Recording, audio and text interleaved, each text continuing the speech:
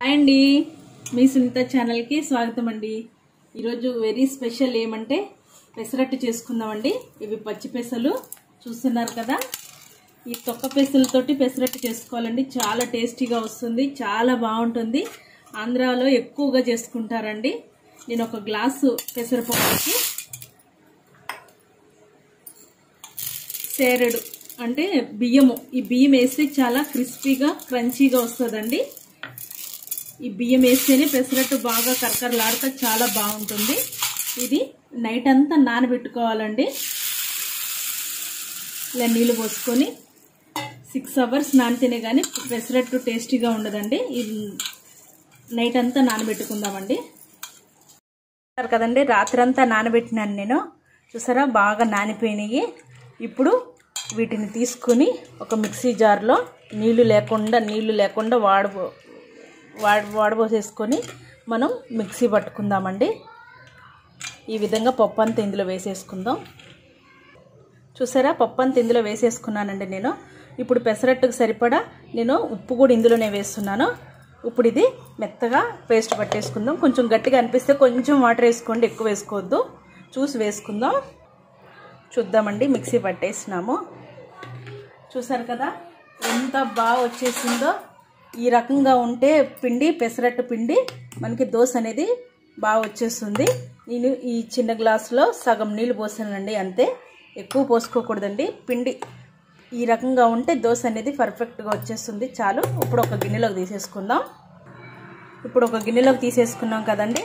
ఇప్పుడు ఇందులో చిటికెడు సోడా ఉప్పు వేసుకుందాము.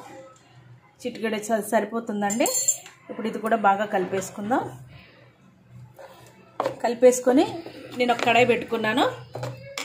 దోశ పెనం వండిది దోశ పెనం పెట్టుకుని దీని మీద దోశ వేసుకుందాం.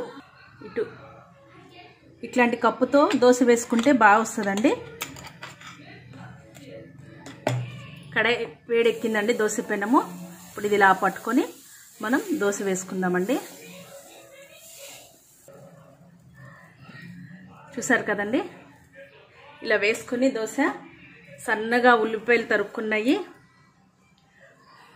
ఉల్లిపాయలు అల్లము పచ్చిమిర్చి ఇవన్నీ వేసుకోవాలండి. అల్లం పెసరట్టు ఉల్లి పెసరట్టు అంటే ఎవరికి ఇష్టం ఉండదండి. అందరికీ ఇష్టమేనండి.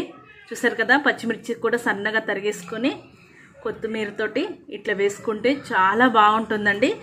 ఉల్లిపాయలు ఎక్కువ వేసుకోండి చాలా బాగుంటుంది. ఖచ్చితంగా అందరికీ నచ్చుతుందండి.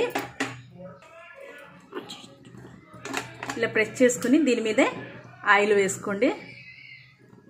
ఒక పక్కే కాల్చుకోవాలండి మర్చిపోకండి. కొంచెం చూసారు కదా ఈ విధంగా వేసుకొని మనం దోరగా కాల్చుకుందాం. చూసారా? బాగా కాలింది. చూసారా?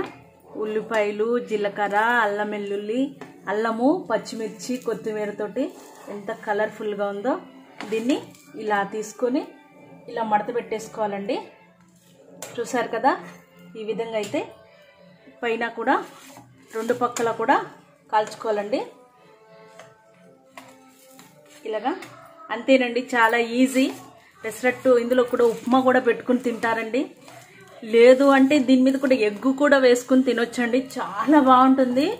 ఉల్లి పెసరట్టు ఉప్మా పెసరట్టు అసలు సూపర్ సూపర్ టేస్ట్ అండి. నేను చెప్పేదానికి మాటలు తక్కువే అంత టేస్టీగా ఉంటుంది. కాలిపోయిందండి ఇప్పుడు మనం తీసేసుకుందాం ఒక ప్లేట్లోకి చూసారా కదా? ఎంత బాగుందో? చూసారా?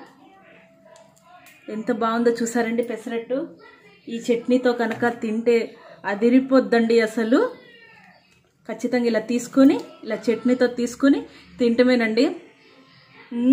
సూపర్ ఉందండి. అమోఘం అసలు. మీరు మిస్ అవ్వకండి. మీకు నచ్చిందా అండి? ప్లీజ్ లైక్ చేయండి షేర్ చేయండి. Bye bye thank you